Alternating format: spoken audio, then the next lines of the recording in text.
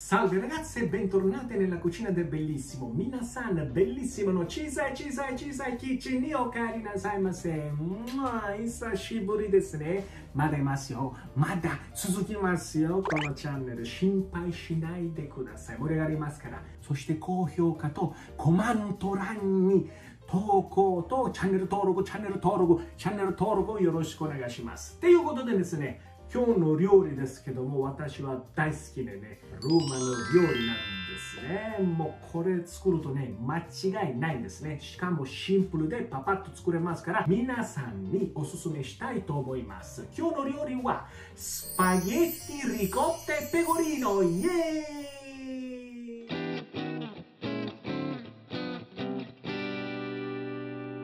ingredienti 材料はね、とってもシンプルです。 semplicissimo ね。こちらでございます。スパゲッティを準備してください。そしてリコッタチーズね。そしてペコリーノロマーノチーズがパワーがつくやつですよ。そしてブラックペッパーだけでございます。もうパパッとできますからね、ぜひ最後までご覧ください。これぐらいの鍋だったら、大さじ2ぐらいの塩、ね、サレグロッソ、みピアシェグロッソ。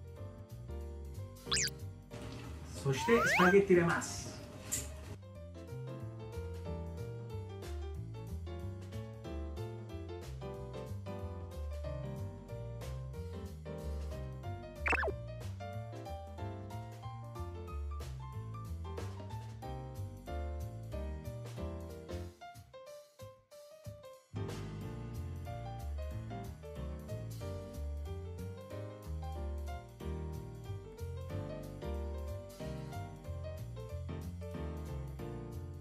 そしてこういう余ったチーズをねどうすればいいっていうと食べるんですね。ちょっとパスタの茹で汁を入れます。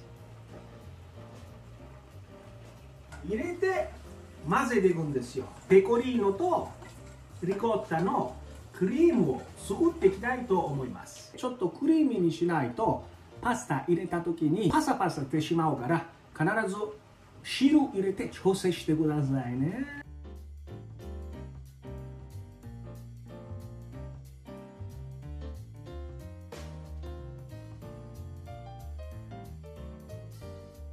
スパゲッティリコッテペコリーノ完成でございますイエーイ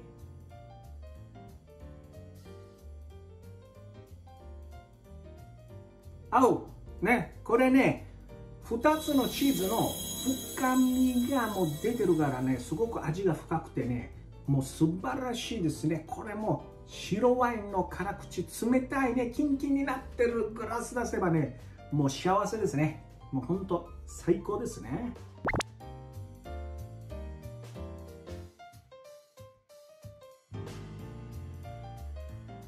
どうも皆さんお疲れ様でございます。今日の料理はいかがでしたでしょうか？